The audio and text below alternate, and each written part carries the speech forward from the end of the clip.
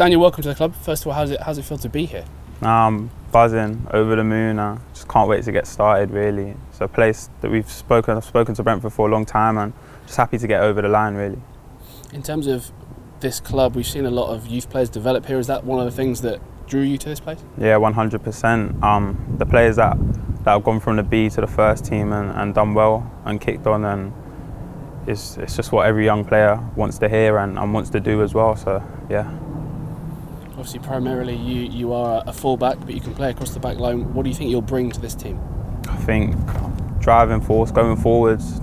I like to carry the ball forwards, help the team going forwards and defensively as well.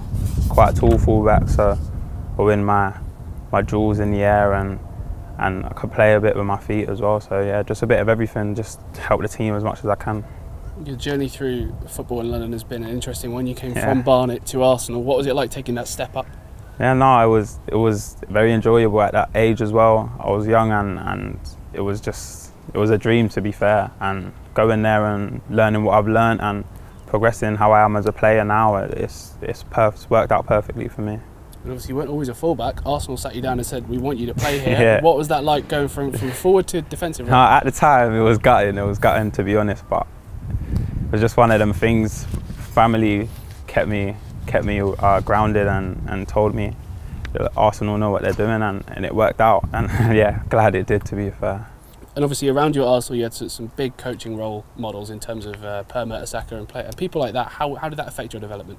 it was fantastic learning from, from the greats when they played and Per was was always good to me. Had, we had a really good relationship. He'd always help me if I needed. So now it was fantastic and just soaked up everything I could from them like a sponge to be honest. And last season got a little bit of a taste of first team football as well because you played in a pre-season friendly against MK Dons. What was that like as an experience? Yeah, no, it was it was fantastic. I trained with them a lot that pre-season and, and before that, and to get on and and go even to travel with them, I was over the moon. I found out all, all on the day, so now I was I was buzzing and, and just happy to be there a lot of people come here and, and, talk about the, the fact that this might be one of the most important stages in a player's development, going from, from youth football to first team football. What do you think you can get from Brentford as a club? Brentford can just show me real play, show me how to play real football at the end of the day and, and men's football and that's why I'm here and that's that's what I want to do. So I know that Brentford will will show me the ways and of, of how football in the men's game is supposed to be played and help me take my game to that next level as well.